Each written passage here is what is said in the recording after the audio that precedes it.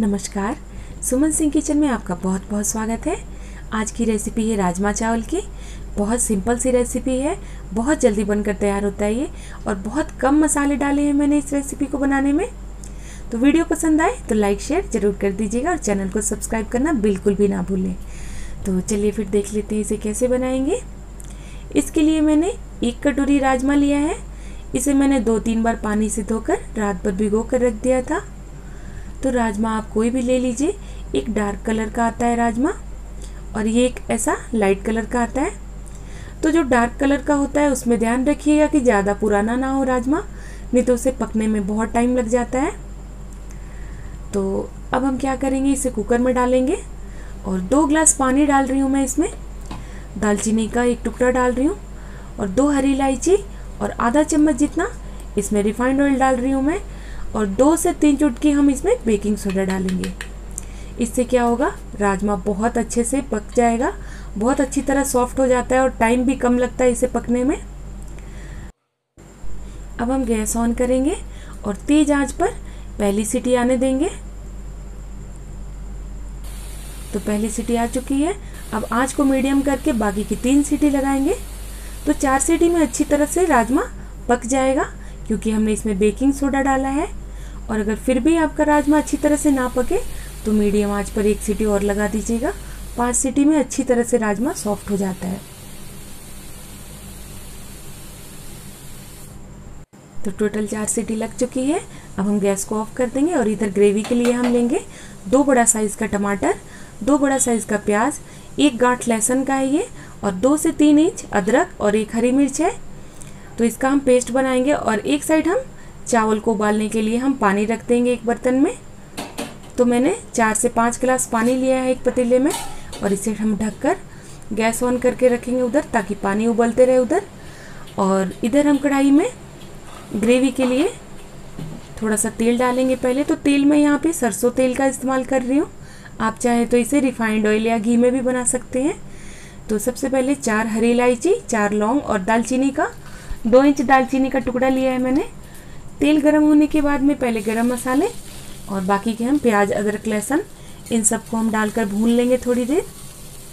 आज को मैंने तेज रखा है। बहुत जल्दी बनकर तैयार हो जाता है ये राजमा। इस तरीके से आप एक बार ज़रूर बनाकर देखिएगा। बहुत आसानी से बना सकते हैं इसे घर पर। बिल्कुल भी टाइम नहीं लगता इसे बनाने में। तो देखिए, अब इसके बाद हम टमाटर डाल देंगे। दो मिनट में भुनकर तैयार हो जाता है ये प्याज, टमाटर, अदरक, लहसुन। तो देखिए, टमाटर अच्छी तरह से गल चुका है। अब इसमें हम आधा ग्लास जितना पानी डाल देंगे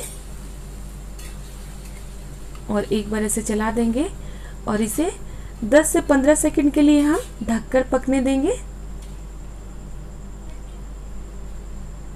10-15 सेकंड हो चुका है। देखिए, अच्छी तरह से गल चुका है प्याज, टमाटर। इससे ज़्यादा नहीं गलाना है हमें। नहीं तो ग्रेवी का टेस्ट अच्छा नहीं आएगा। अब गैस ऑफ़ करके इसे हम साइड में रख देंगे ठंडा होने के लिए। तब तक चावल धोकर रख लेते हैं। तो मैंने डेढ़ ग्लास जितना चावल लिया है, ये नॉर्मल चावल है। डेली यूज़ में जिसे हम खाते हैं।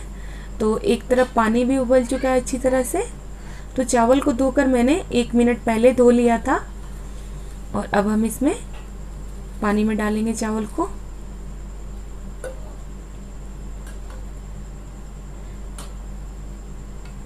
चावल को डालते वक्त आँच को कम कर दीजिएगा, नहीं तो इसके छींटे उड़ते हैं। और अब आँच तेज कर देंगे और इसे मिला देंगे एक बार अच्छी तरह से।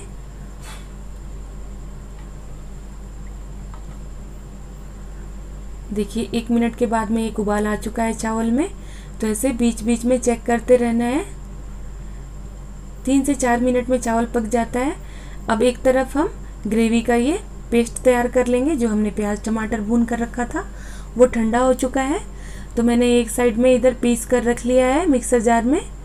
तो चावल को एक बार चेक कर लेते हैं। ये देखिए 90 परसेंट जितना चावल पक जाना चाहिए अच्छी तरह।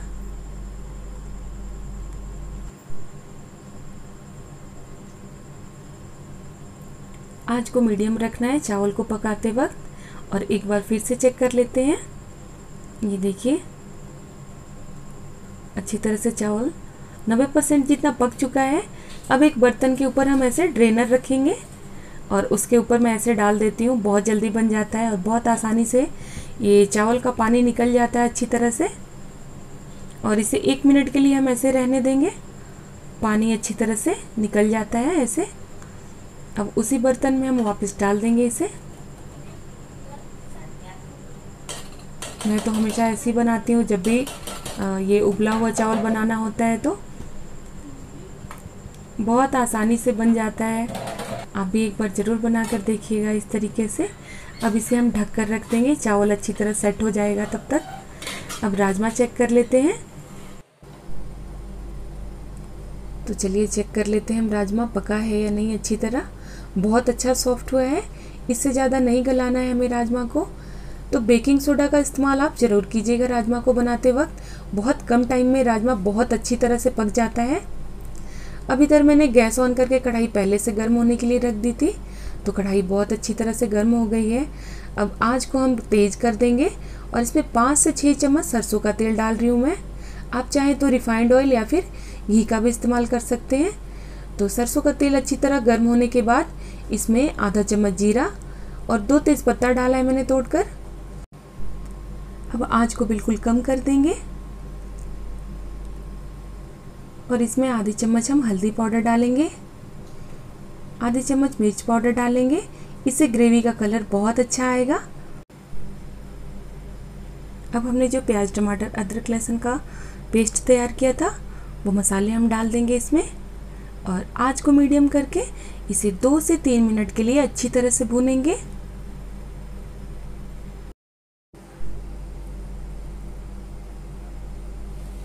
अब हम इसमें नमक डालेंगे स्वाद अनुसार। और नमक डालने के बाद में एक बार फिर से मिक्स कर देंगे ग्रेवी को। दो से तीन मिनट तक ग्रेवी को ज़रूर भूनिएगा। आँच को मीडियम करके और ढक ढक कर भूनना है ग्रेवी को। इससे क्या होगा कि राजमा का स्वाद बहुत अच्छा आएगा। जब तक तेल अलग ना हो जाए ग्रेवी से, तब तक ज़रूर भूनिएगा। और बीच बीच में ज़रूर चेक करते रहिएगा। तो देखिए, एक बार मैं चेक करके दिखा रही हूँ। अभी मसाला अच्छी तरह से नहीं पका है, क्योंकि तेल अलग नहीं हुआ है ग्रेवी से। तो एक बार फिर से हम ढकेंगे अभी बाद में। तो पहले हम इसमें धनिया पाउडर डाल देंगे। डेढ़ चम्मच धनिया पाउडर डाल रही हूँ मैं। इससे ज़्यादा मसाले नहीं डालेंगे हम, और फिर भी ये राजमा बहुत ज़्यादा टेस्टी बनेगा। एक बार इस तरीके से ज़रूर बना कर देखिएगा। कम से कम मसाले में बहुत टेस्टी बनता है ये राजमा। तो एक बार फिर से ढक दिया मैंने। और अब ये बहुत अच्छी तरह से ग्रेवी पक चुकी है। देखिए, तेल अलग हो चुका है ग्रेवी से। तो आज को मीडियम कर देंगे हम और एक बार मिक्स कर लेंगे ग्रेवी को अच्छी तरह। अब मिक्सर जार में जो मसाला बचा था थोड़ा, इसमें पानी डालकर हम ग्रेवी में मिला देंगे। और एक चम्मच कसूरी मेथी डालेंगे हम। इससे राजमा का स्वाद बहुत अच्छा आता है। तो ग्रेवी में आप कसूरी मेथी का इस्तेमाल नहीं भी करेंगे, तभी बहुत अच्छा आएगा। पर अगर है आपके पास तो ज़रूर डालिएगा। अब हम इसमें राजमा डाल देंगे। और राजमा डालने के बाद में इसे अच्छी तरह से मिक्स कर देंगे ग्रेवी में।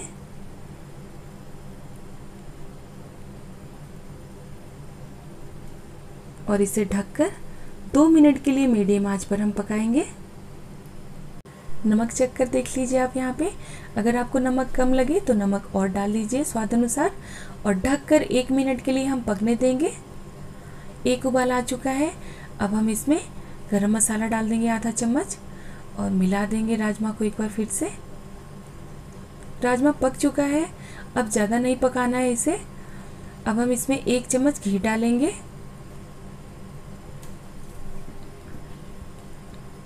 और घी डालने के बाद में हम गैस को ऑफ़ कर देंगे और इसे 15 से 20 मिनट के लिए हम ठंडा होने देंगे, थोड़ा सा रेस्ट करने देंगे राजमा को, क्योंकि राजमा को जितनी देर आप रखेंगे, उतना ही अच्छा कलर आएगा राजमा में।